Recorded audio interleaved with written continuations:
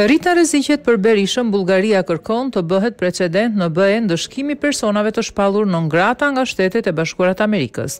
Shpallja non grata nga Departamenti Amerikan i Shtetit pritet t'i hapë shumë telashe ish-kryeministrit Sali Berisha. Ky i fundit, menjëherë sapo u njoh me vendimin e DASH, i hodhi poshtë akuzat se është i përfshirë në korrupsion dhe ka penguar demokracinë, ndërkohë që nga ana tjetër të shumtë kanë qenë zërat që kërkojnë hetimin e ish-kryeministrit Berisha nga strukturat e posaçme kundër krimit të organizuar dhe korrupsionit dhe madje ndalimin e tij jashtë vendit.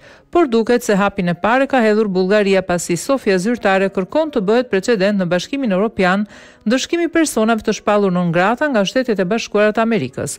DASH pak ditë pasi shpalli ish-liderin demokrat, person të padëshiruar në Shtetet e Bashkuara të Amerikës, mori dhe një vendim ku shpalli non grata disa zyrtarë bullgarë.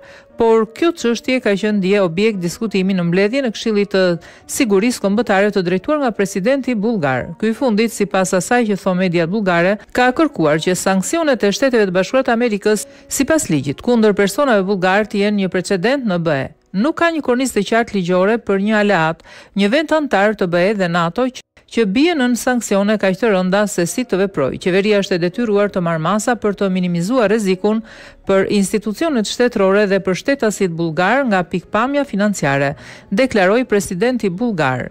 Por, nëse kërkesa e Sofjes që të bëhet precedent në Bashkimin Evropian, ndëshkimi i personave të shpallur non grata nga Shtetet e Bashkuara të Amerikës, merret në konsideratë nga Brukseli, rriten rreziqet për ish-kryeministrin Sali Berisha. Kjo pasi Shqipëria aspiron që t'i bashkohet BE-së dhe nëse rasti i ndëshkimit të personave të shpallur non grata pranohet që të sanksionohet edhe në Bashkimin Evropian, Berisha ka gjasa të detyrohet të dorëzojë mandatin e deputetit